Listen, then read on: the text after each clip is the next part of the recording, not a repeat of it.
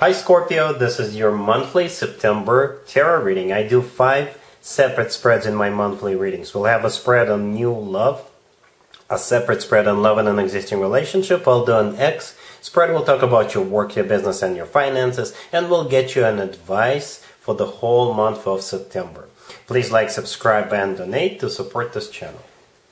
This first spread is on new love this month. We have the Six of Wands clarified by the Ace of Cups. We have the Ten of Pentacles clarified by the Wheel of Fortune. We have the Four of Wands. In the potential outcome, we have the Ace of Pentacles with Death and uh, the Two of Cups. And we also have the World on the bottom of the deck. You could be dealing with another Scorpio or pretty much any sign. And I was uh, hoping to get some court cards, but unfortunately, or actually, rather, fortunately, we got what we got because this is an amazing spread.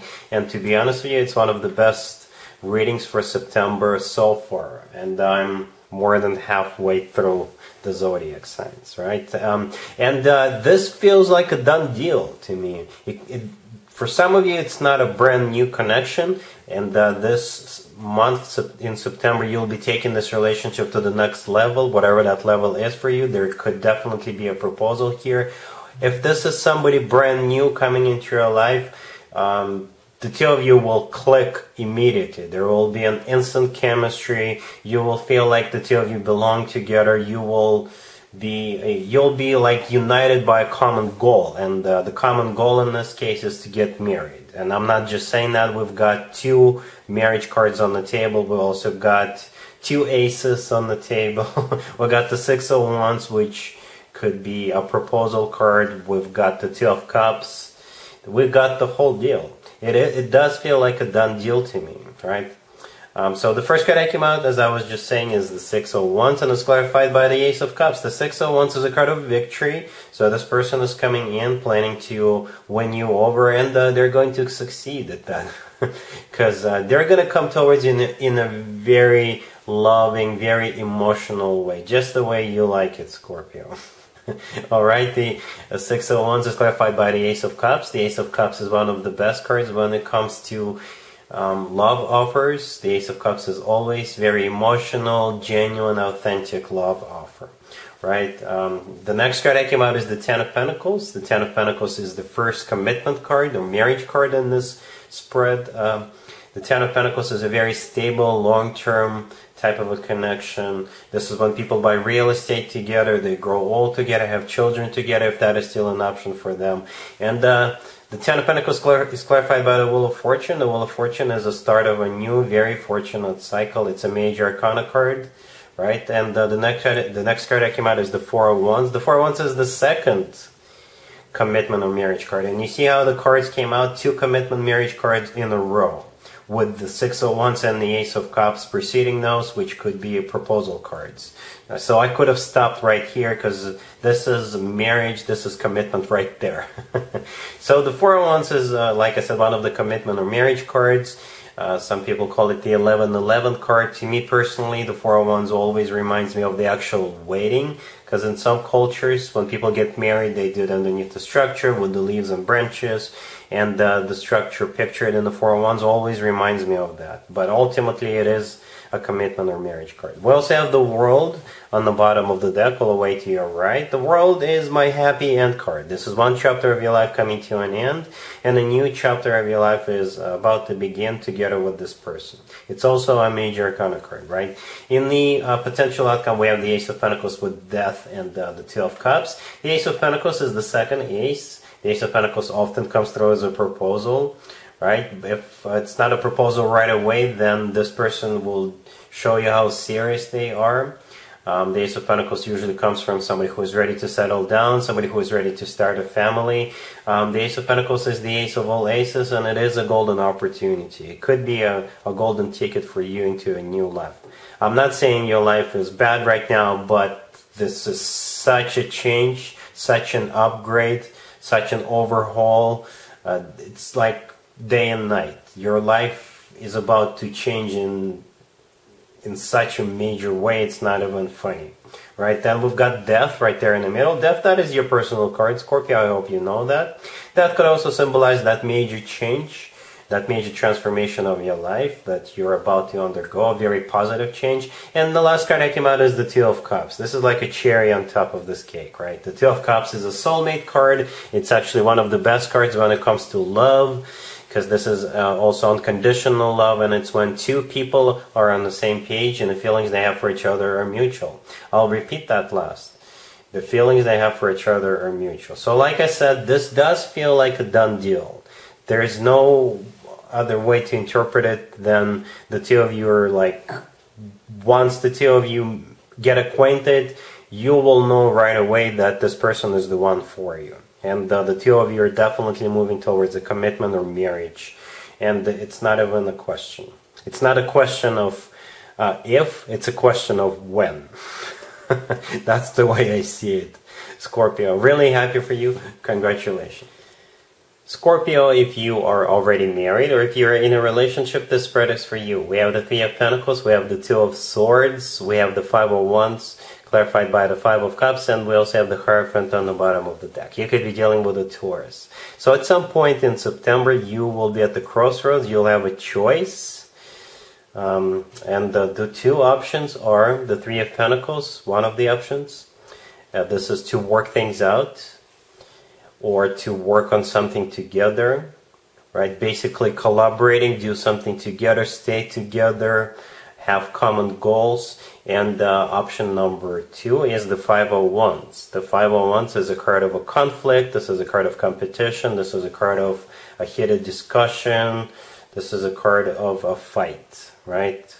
I don't know exactly how this is going to play out. Um, and by that I mean I don't know what's going to lead to that or why you'll have this choice, but uh, you will definitely be at the crossroads. I specifically clarified the Five of Wands. Um, I wanted to know what happens if you decide to go the the the way of a um, fight or a competition or a heated discussion, and it's clarified by the Five of Cups. One five is clarified by the other, and in, in this case, I think the Five of Cups is all about regret or grief, right? So I think you, if you do just choose this route, then you will later regret it. Alright, I'm just being honest with you. The Hierophant on the bottom of the deck all the way to your right, uh, this is a, the personal Taurus card, you could be dealing with a Taurus, or the Hierophant is a card of your committed relationship or marriage. Alright, so, um, so like I said, I specifically clarified the Five of Wands. Um, so if I were you, I would um, probably choose the way of the Three of Pentacles, the first card on the left, to work things out, to continue working on something instead of fighting over something. Alright, so just keep that in mind. Let's see if anybody comes back from the past for you, Scorpio, this month. keep in mind, it could be somebody from a couple of months ago, a year ago, or a couple of years ago, so it doesn't have to be the most recent ex. We have the Three of Swords, we have the Knight of Wands, we have the Magician clarified by the Two of Swords, and we also have the Nine of Wands on the bottom of the deck. You could be dealing with a fire sign, Aries, Leo, or Sagittarius. So I only have some bad news for you, um, Scorpio. The person coming back from the past is a player, somebody who broke your heart in the past, and uh, if you are to give them another chance, they will break your heart again. Right, so speaking of a broken heart, the first card I came out is the Three of Swords. The Three of Swords is a card of a broken heart. This is a card of a devastation. This is a card of a breakup. This is a card of um, being stabbed in the back. Uh, the next card I came out is the Knight of Wands. And uh, it could be a fire sign, Aries, Leo, or Sagittarius, but I think in this particular spread, the Knight of Wands is a card of a player. Somebody who is hot and cold, somebody who is in and out of your life, somebody who is a playboy, playgirl kind of a character, and we've got the Magician right next to the Knight of Wands. The Magician is not a bad card unless it is either clarified by or is surrounded by particular cards in the spread. Then the Three of Swords and uh, the Knight of Wands are definitely those cards. In this case, the Magician becomes a trickster.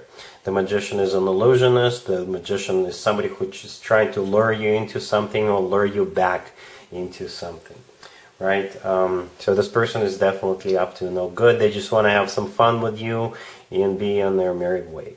Uh, the Magician is clarified by the Two of Swords, and we also have the Nine of Wands on the bottom of the deck. Both the Two of Swords and the Nine of Wands are pretty much about the same thing. I believe this is a hint or an advice from the universe for you to say no to this person. In this case, the Two of Swords is a card of uh, you remaining closed off, right? Not listening to this person. And uh, the Nine of Wands, this is a card of a wounded warrior, and it is also a card of somebody who puts up a wall between themselves and the person they're dealing with. So, like I said, this is what you need to do. You just need to block this person and uh, don't bother with them because they will break your heart all over again. So, be very careful.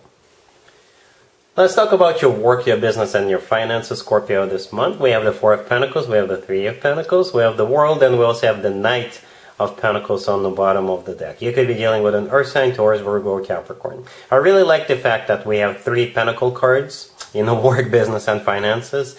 And uh, with the Knight of Pentacles on the bottom of the deck, I think this is either some money coming in in some shape or form. And by that I mean it could be a bonus, it could be uh, you starting a new job, it could be a government assistance, it could be you cashing in on something, could be dividends, whatever it is, it's money coming in, right? And it's going to be enough money for you to set aside into your savings account.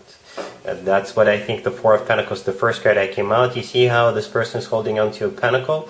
And uh, in my spreads, the Four of Pentacles often plays out as uh, having enough money to save for a rainy day, right? Then we also got the Three of Pentacles in the middle. The Three of Pentacles is a card of collaboration, working in a team environment. Um, if this is a new gig offer, you could be offered a consultant position because uh, you see how in the Three of Pentacles, one person is standing a little bit above the other two. So the person standing above, this person is teaching the other two, right? So you could be a consultant or you could be hired as a manager, right? Or a C-level executive or this whole spread could be about you being promoted at your existing job, and that will obviously um, include um, salary increase, right? We also have the world on the bottom of the deck. The world, I mean, right next to the deck, the world is my happy end card. So one chapter of your life coming to an end, and a new, much happier chapter when it comes to your finances is about to begin. The world could also be a card of travel, so perhaps you could go on a business trip and uh, you will close the deal. Right, if you're, for example, if you're in the sales department, you could travel and close the deal, and uh, it'll be a bonus for you. They will give you some cash for that. Uh, but I think this whole spread, like I said, is uh, a huge improvement when it comes to your uh, work, business, and finances. Let's talk about an advice or a word of wisdom for you, Scorpio, for the whole month of uh, September. We have the Star, we have the Ace of Wands, we have the Ace of Pentacles, and we also have the Ten of Pentacles on the bottom of the deck. You could be dealing with an Aquarius. It kind of reminds me of the first spread I did for you in this reading, the New Love spread, but it could be about something else right? The star, the first card that came out is the personal Aquarius card. You could be dealing with an Aquarius, but most likely the star is a wish come true. Something people usually wish for or hope for for a very long time.